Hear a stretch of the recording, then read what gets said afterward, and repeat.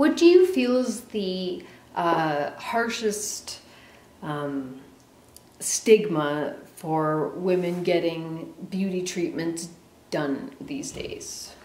And, and what do you think about that? Yeah, okay, this is, this is a good topic. It's an interesting topic, um, one that I'm fairly passionate about as well. I think stigma wise, um, I'm going to answer this question twofold. I think that it's great to invest in yourself in terms of beauty, but also I think it's very important to be authentic.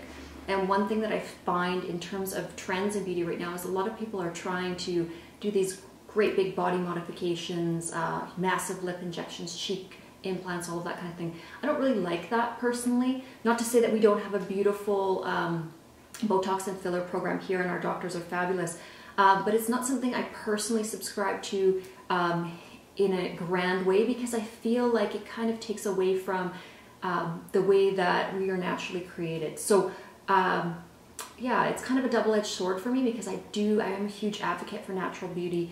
I think that women feel more empowered when they learn how to enhance what they already have. Um, and I also feel that the pressure of the media sometimes um, pushes women to not feel beautiful just as they are. So that's something that we're really trying to integrate into our programs too, is having that natural appreciation for, you know, just and I should say waking up without without your makeup on, but I do have mine tattooed on, so that's a little bit of a catch-22. But um, just waking up and feeling good about yourself and never feeling devalued because maybe your hair's a little bit off or you don't have the perfect outfit on. I know that that's something that all women struggle with, and it's a big stigma in terms of you know, just living life as a woman. Um, we're always pressured to feel glamorous and beautiful and on. And you know what?